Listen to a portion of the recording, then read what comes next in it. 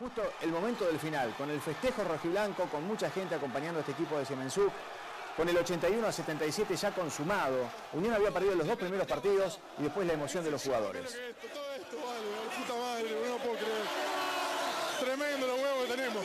Revertimos una serie muy difícil contra candidato y eso no hacen los leones, tenemos unos huevos bárbaros. ¿Lograron el objetivo? Sí, un objetivo muy difícil, contra un rival muy difícil, pero mira lo que es esto. Eh, nosotros tenemos mucho amor propio, muchísimo corazón y por suerte hoy lo pudimos demostrar. Vinieron de menor a mayor. Siempre, toda la serie vinimos de menor a mayor y el amor propio que tiene este equipo siempre saca la cara cuando la tiene que sacar.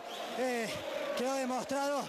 Mis felicitaciones para, para Barrio Parque, que fue un rival excelente, pero nunca le paré la confianza a mi equipo. Unión estaba necesitando esta alegría.